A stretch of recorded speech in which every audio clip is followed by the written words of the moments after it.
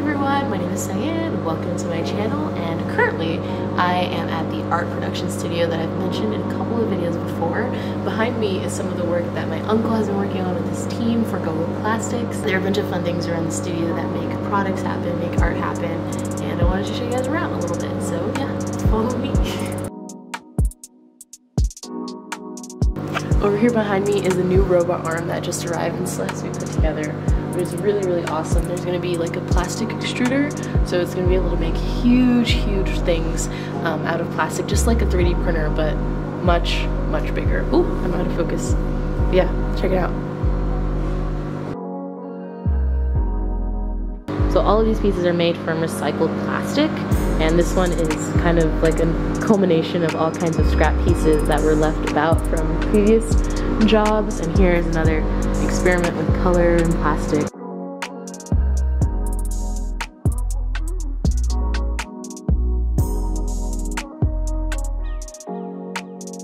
Behind me is the laser cutter machine. It seems to be doing well. And then there's the outside area. I don't know if you'll be able to see anything because it's very dark. The general gist of this area is that there are a bunch of bags of plastic that has been used and sent here to be repurposed to be made into the panels. And there are usually a bunch of just art pieces laying around and a bunch of scraps as well. This is like a remnant of one of the plastic pieces that has been made and these pieces like that are left over are really really cool really pretty.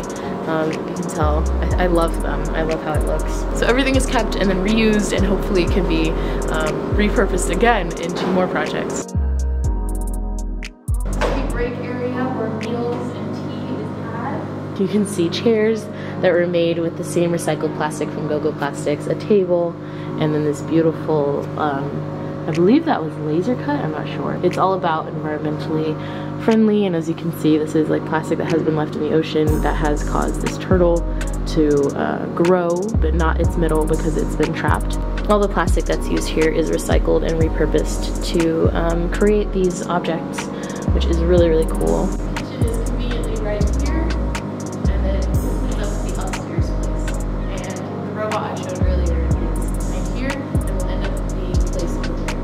Over here behind me is the kitchen along with a bunch of tools and storage space on that side for everything that's being used. There's a ton of stuff. Um, but here, check this out. So this coffee machine is really cool. Look how amazing it looks on the inside.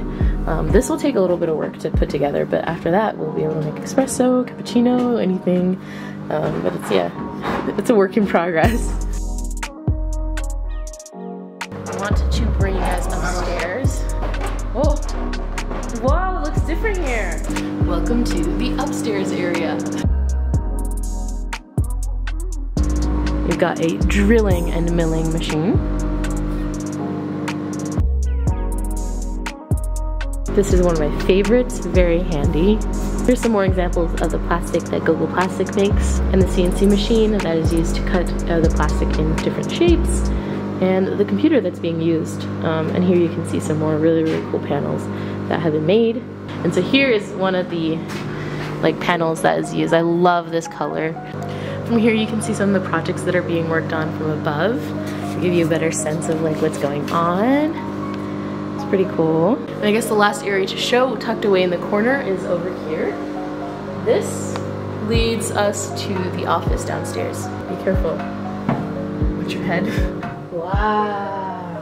So this is the office space and there's a bunch of amazing work that is being kept here and also just a bunch of uh, Playmobil and old toys because right now there's a project going on where um, he's been trying to like experiment with how these Playmobil um, dolls look when they're pressed. So you can see some examples over here. Just like documentation of prior work that my uncle has made and friends and family and just kind of like a collection. Beautiful, inspirational, very cool, and like hard-hitting work from friends and um, people that we admire.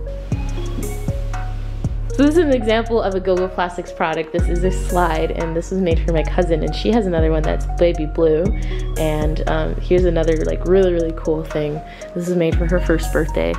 Um, it's just so awesome.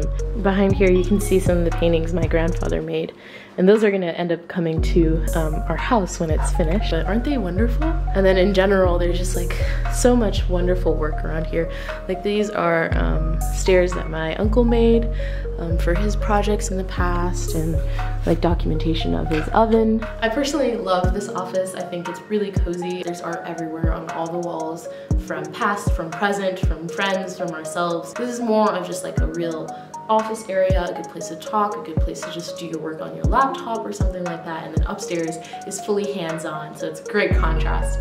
But both are really necessary and have been, I don't know, great spaces. I think they're both pretty inspirational. I feel really lucky that I have family that's in art and that's in making and that I've kind of been surrounded by that my whole life. And so I hope that this video gives you a little bit of perspective on what that looks like because I think it's a really unique and different environment to be in and a different work environment that has been really, really fun to show you guys around in. So I hope this video was able to maybe like satisfy your curiosity about art production or making or what a space like this would look like. I'm hoping I'm gonna get to spend some more time here with the projects that I'm gonna be working on before the end of the year and also at the beginning of next year and So looking forward to that and hopefully we'll be able to take you guys along for the ride as well and show you the step-by-step -step process for different things that I'm really really excited about so if you want to stay tuned with that make sure to hit that subscribe button and make sure to like this video so I know that you enjoyed it and that'll help inform the next videos and also help the YouTube algorithm but only do that if you'd like. Alright it's been nice to see y'all I'll see you in the next video.